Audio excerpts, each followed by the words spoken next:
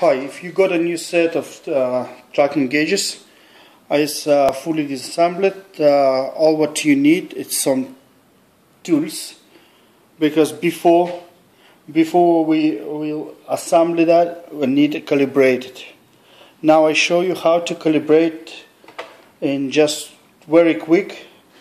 We need a mirror, something straight line the mirror here I've just stick double uh, tape.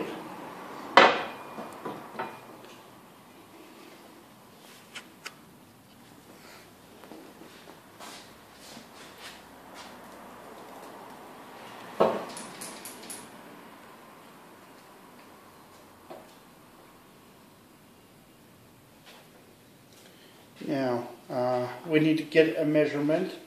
So we have a ruler. That lines line over there.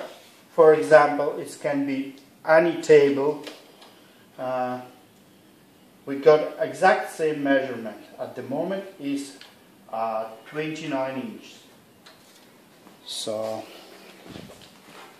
here is the 29.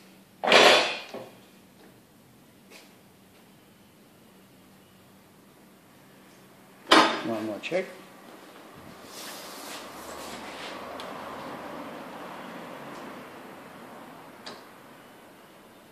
Where we go? so here we have two plugs. Just unplug it.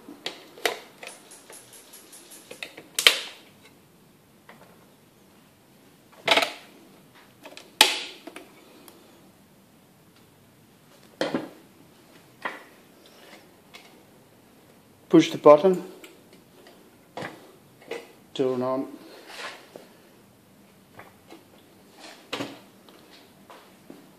So I've got a touch here and the line is go up to the mirror. Uh, stop still. So the Allen key will fit exact into the fitment over there and then we have to find the position.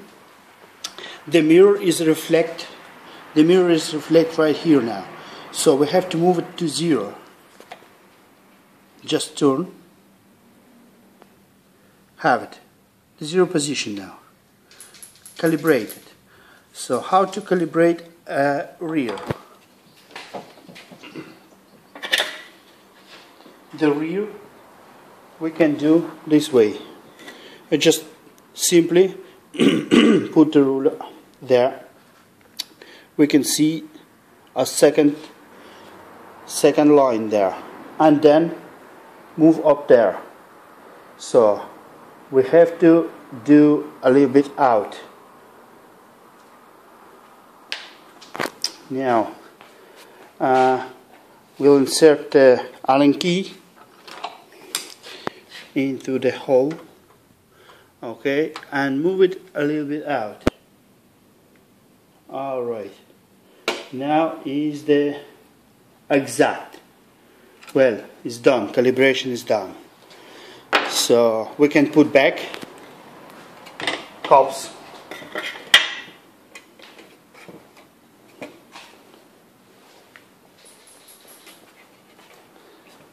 after that uh, this little part is going there. And that one. So first of all put that way on exact in the center.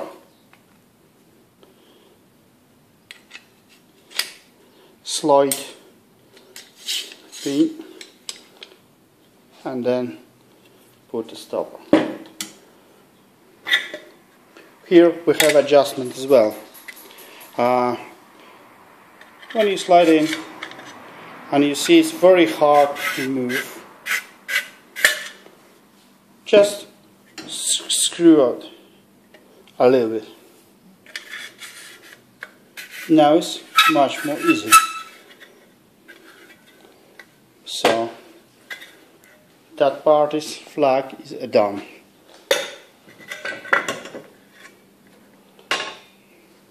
then we have to assemble the main unit.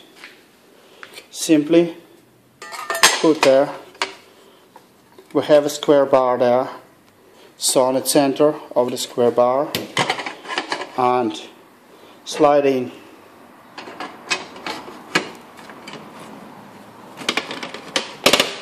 The main unit. Right. Turn off then we have a little hole here. The little hole is right there on the end of the bar. You have a pin like that in the back. Just put in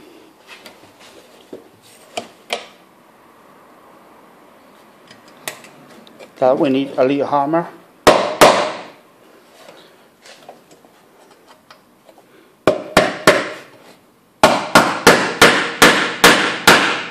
that's it probably on the middle position. These pins prevent fall down.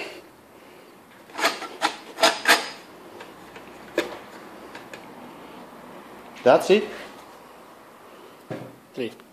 Also if you haven't any level measurement on your unit you can see in the back same one which I have in my hand. It's where you will stick on is up to you. One place is for that, it's right here. That will help you. Another place is over there. That will work as well. Each caliper have a 2AA battery inside. So probably maybe six month time need to be replaced. Simply screw out all screws